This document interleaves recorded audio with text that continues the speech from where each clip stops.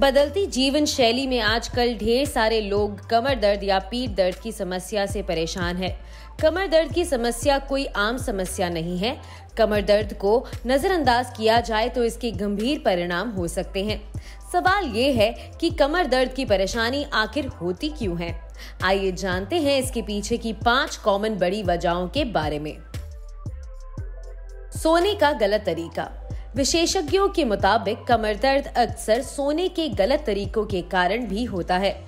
लोग जब अक्सर गलत पोजीशन में सोते हैं तो सुबह सोकर उठने के बाद कमर में दर्द महसूस होता है। तकिए और गद्दे आरामदायक नहीं हैं तो इससे भी कमर में तकलीफ़ होती है। लगातार ऐसा होना आपकी परेशानी बढ़ा सकता है। भारी वज़न या गलत व्यायाम। कई बार भारी सामान उठाने के कारण भी कमर दर्द की परेशानी होती है। भारी सामान उठाने का तरीका गलत होने से मांसपेशियों में खिंचाव होता है और जिस कारण कुछ समय बाद कमर दर्द की समस्या शुरू हो जाती है। कई बार गलत तरीके का व्यायाम करना या ज़रूरत से ज़्यादा जिम करना भी कमर दर्द का कारण हो सकता है। अनियमित खान पान अनियमित खान पान के कारण या उचित पोषण नहीं मिल पाने की वजह से भी हड्डियों में कमज़ोरी आती है। ज़्यादा मात्रा में जंक फ़ूड, बासी खाना और अधिक व्यसायुक्त आहार का सेवन करने से कमर में दर्द हो सकता है। लगातार बैठकर काम करना, तनाव लेना।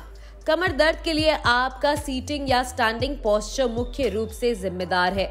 ऑफ़िस या घर में कुर्सी पर घंटों बैठकर काम करना भी कमर दर्द का बड़ा कारण है। इसीलिए बीच बीच में ब्रेक लेने और उठते रहने की सलाह दी जाती है। इसके साथ ही अत्यधिक तनाव लेना भी आपके मस्तिष्क के साथ साथ नर्वस सिस्टम को प्रभावित करता है और रीढ़ की हड्डी वाले स्थान पर दर्द पैदा कर सकता है।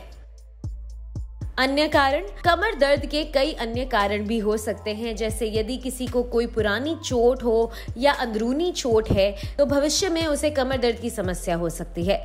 हड्डियों का कमज़ोर होना, अधिक दवाओं का सेवन या उसके साइड इफ़ेक्ट भी इसके कारण हो सकते हैं। कमर दर्द शुरुआती हो या मामूली हो तो इसके घरेलू उपचार किए जा सकते हैं। इन कारणों को नजरअंदाज ना करें, स्वस्थ रहें, सुरक्षित रहें और ऐसी कई और वीडियोस को देखने के लिए देखते रहिए ओनली माई हेल्थ का यूट्यूब चैनल।